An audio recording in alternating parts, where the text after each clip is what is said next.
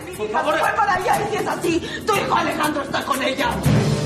No. Eso no puede ser. ¿Pero qué está diciendo esta mujer? Por favor, explícate. Es que vieron salir a mi hija de la casa y iba con Alejandro. Dicen que pase la puerta. Por favor, Altagracia, dile a Melesio que junte a toda la gente para que nos ayude. Yo voy con ustedes. No, tú quédate aquí por lo que se puede ofrecer.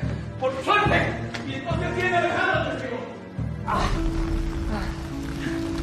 ¿Qué pasa? Ah, ¿Qué pasa? ¿Qué pasa? Tudo vai estar bem.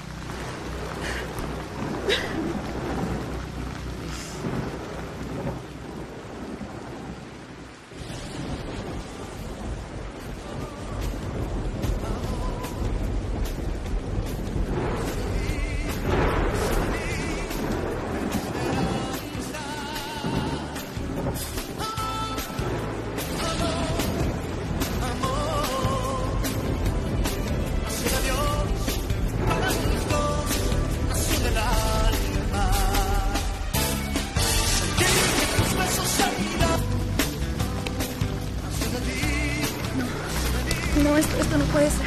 ¿Pero por qué? Tu familia y la mía se odian, se odian desde siempre. Espérame, espérame, espérame tantito.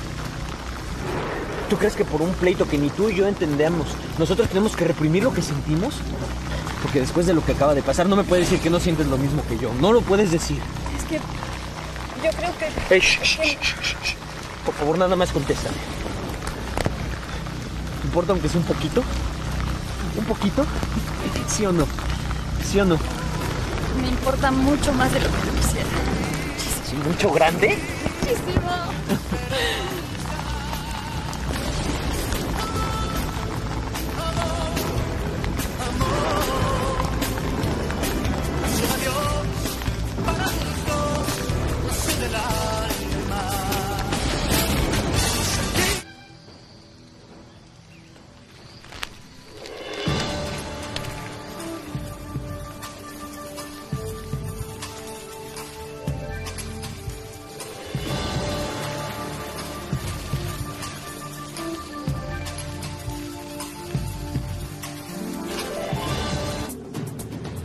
bueno, ¿y, y- y quién fue según usted? El honorable don Justo Ramírez. Y puedo probarlo. ¿Y qué es eso? Esa es la herradura de un caballo que pertenece a la hacienda de ese miserable. Lo encontré entre las cenizas de mi huerta. Aquí dice piedras grandes. Quiero, exijo que se le castigue con la cárcel. Y antes de encerrarlo, quiero que me pague todo lo que perdí.